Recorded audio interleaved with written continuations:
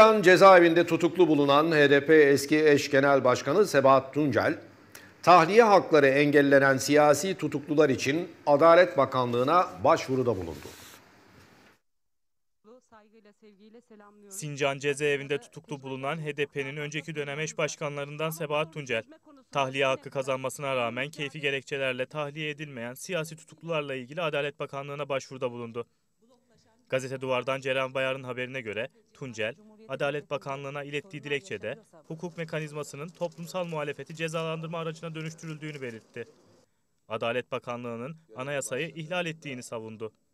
Adaleti sağlaması gereken yasaları tüm yurttaşlar için eşit uygulaması gereken bakanlığınız da ne yazık ki ayrımcı uygulamalara imza atmakta, anayasayı ihlal etmektedir.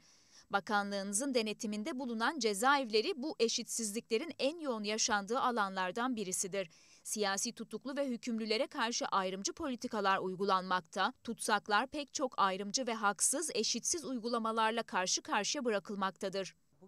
Tuncel ayrıca cezaevlerindeki en büyük haksızlıklardan birisinin infazı bitenlerin tahliye edilmemesi olduğuna dikkat çekti.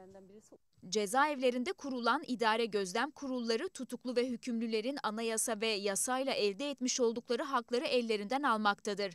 İdare gözlem kurulları kendisini mahkeme yerine koymakta, paralel yargılama yapmakta ve tutuklu ve hükümlülere haksız cezalar vermektedir. İdare gözlem kurulu kararlarına yapılan itirazlar da ne yazık ki şekil olarak ele alınmakta ve idare gözlem kurulu kararlarını onaylamaktadır. Ağır ceza mahkemelerine yapılan itirazlar da tutuklu ve hükümlülerin aleyhine sonuçlanmaktadır.